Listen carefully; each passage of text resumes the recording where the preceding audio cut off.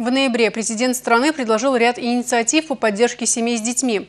Это касается как первых, так вторых и третьих последующих детей. Наша съемочная группа побывала в Республиканском президентском перинатальном центре и узнала, что думают по этому поводу те, кто совсем недавно ощутил радость материнства.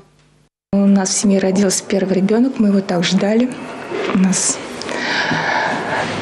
мы очень счастливы, и это чувство, когда ты держишь ребенка на руках первый раз, первый раз кормишь, это вообще такое блаженство, такое счастье, что я желаю всем матерям испытать это чувство. В роддоме всегда особая атмосфера. Здесь каждый день на свет появляются десятки малышей. В семье Екатерины Красновой Глеб уже второй ребенок. Хотя ему всего чуть больше недели, он ведет себя как настоящий актер. Позирует оператору и показывает все, что умеет. А мама уже в стенах роддома думает о его будущем. Я слышала, что решено продлить материнский капитал до 2021 года и дополнительные меры предприняты правительством, что данный капитал на второго ребенка можно использовать на другие нужды. В частности, ну, лично мне интересно, это частный детский сад, потому что первого ребенка в год я отправила в частный сад.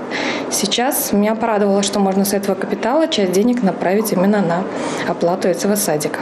А Юлия Николаева недавно стала многодетной мамой. Когда родила второго ребенка, она уже использовала материнский капитал в счет погашения ипотечного кредита. Но полностью долг за квартиру еще не погашен. Девушка призналась, что новые меры поддержки семей вселяют уверенность в завтрашнем дне. У нас есть тяжелая ипотека. Нас, конечно, больше интересует как бы снижение процентной ставки, потому что мы брали давно ипотеку, довольно высокий процент, как бы и мы платим сейчас. Ну и планируем расширяться, да, уже с тремя детьми в двухкомнатной будет тесновато. Если будет ипотека, как говорят, 6%, то это очень даже хорошо. То есть можно будет планировать расширение.